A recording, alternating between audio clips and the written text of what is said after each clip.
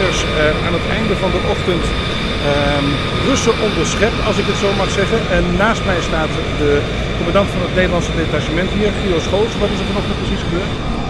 Nou, tijdens uh, ons eerdere interview zijn wij gealarmeerd op een uh, toestel. Ik geloof twee toestellen die opgestegen zijn net noord van ons.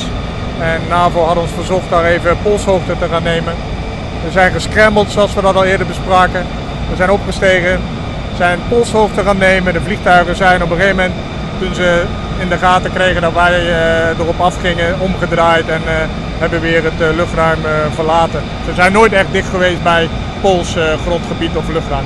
Wat voor vliegtuigen waren het? wij hebben op de chat, wij zitten op een secret chat, zitten wij met elkaar in verbinding en het waren zeg maar Russische tactische bommenwerpers van het type Fencer. Geflankeerd weer door MIGs, net als vorige week? Nee, zij vlogen beide uh, alleen een uh, missie. Dit is de derde keer hè, dat jullie zo'n ontmoeting hebben gehad aan uh, de grens van het NATO-gebied. Dit is, ik geloof, de vierde keer. We zijn drie keer eerder gescrambled en vandaag wederom voor de vierde keer. Is er nog iets van gevaar geweest? Dat wil zeggen een explosieve situatie? Nee, nee er is zeker geen reden tot paniek of gevaar. We blijven op goede afstanden van elkaar. Ze blijven ook wel degelijk weg van uh, de grenzen die wij als NAVO gesteld hebben en uh, ook hanteren.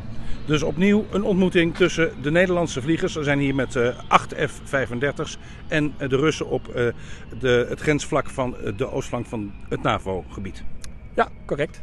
Dankjewel. Um, Guido Scholz, de commandant van het Nederlandse detachement. En uh, her, Jurgen, de herrie hier is afgelopen, want de motor van een F-35 die stationair stond te draaien is uit. ja.